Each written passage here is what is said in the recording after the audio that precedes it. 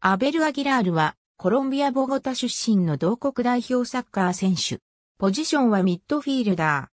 ー。2005年、ウディネーゼカルチョと契約して、すぐにアスコリカルチョにレンタル移籍した。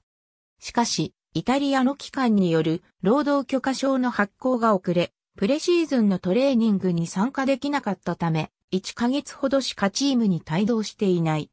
アスコリで1試合にも出場しないまま年明けにウディネーゼに復帰したが、ウディネーゼでの出場機会はリーグ戦1試合と UEFA カップの RC、ランス戦の2試合の出場のみだった。2007年冬、スペインセグンダディビシオンのヘレス CD にレンタル移籍した。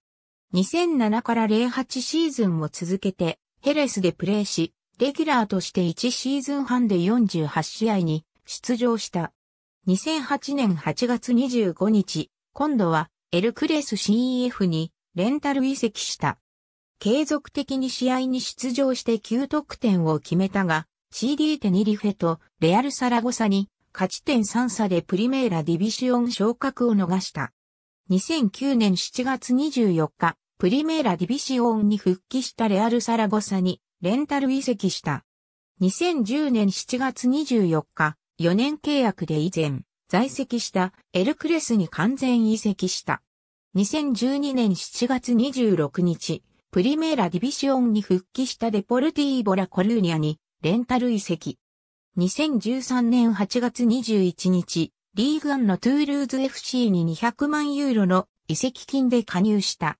2015から16シーズンは足首の故障により出場機会が減少し、2016年2月2日にプリメーラリーガの CEF、ベレネンセスへ期限付き移籍することが決定した。2016年6月12日、フルスデポルティーボカリへ移籍。U-17 コロンビア代表と U-20 コロンビア代表ではキャプテンを務めた。2003年の FIFA ワールドユース選手権で3位、入賞したことで一躍脚光を浴びた。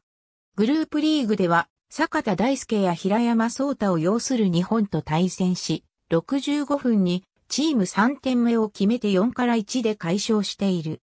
2004年にペルーで開催されたコパアメリカにはコロンビア A 代表の一員として臨み、グループリーグのペルー戦と準々決勝のコスタリカ戦でそれぞれ1得点して準決勝進出に貢献した。2005年の南米ユース選手権にはキャプテンとして臨み、18年ぶりの優勝を果たした。同年の FIFA ワールドユース選手権にも選出され、イタリアなどと同居したグループリーグを首位で通過したが、決勝トーナメント1回戦でアルゼンチンに敗れた。ありがとうございます。